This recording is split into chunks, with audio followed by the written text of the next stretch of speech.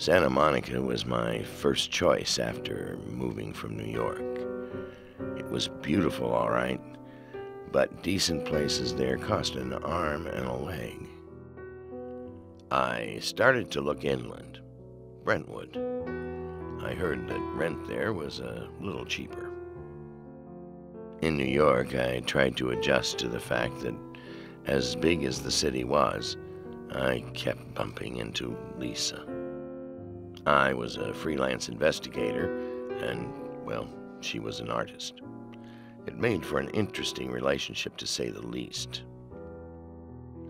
We grew apart. I tried to avoid her, but we crossed paths too often. I needed to get away. I answered an ad for a guest house. It was in Brentwood. A man answered the door. I said, My name's Freddy Carmichael. I'm here about your ad. In a slight southern accent, he said, I'm Pete Lennox. We shook hands, and he invited me in. This guy was a sports junkie, probably a sports bettor. I wasn't wild about the main house, but I really liked the guest house. I mean, really liked the guest house. We had a short negotiation about the rent.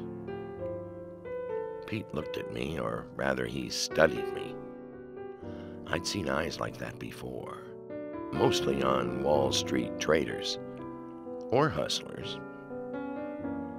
I discovered that Pete had valuable skills that I didn't have. I was an experienced PI. Pete knew a lot about math. Soon, we became partners. As private investigators, we worked a lot of compelling cases together. We needed mathematical logic to help discover who was selling corporate secrets. We used conditional probability to turn the tables on this unscrupulous bookie. Statistics enabled us to figure out that a basketball game was being fixed. Our investigations took us to Hollywood, then Beverly Hills, then Orange County, and Santa Barbara. In the end, I wrote it all down. I think you'll enjoy it.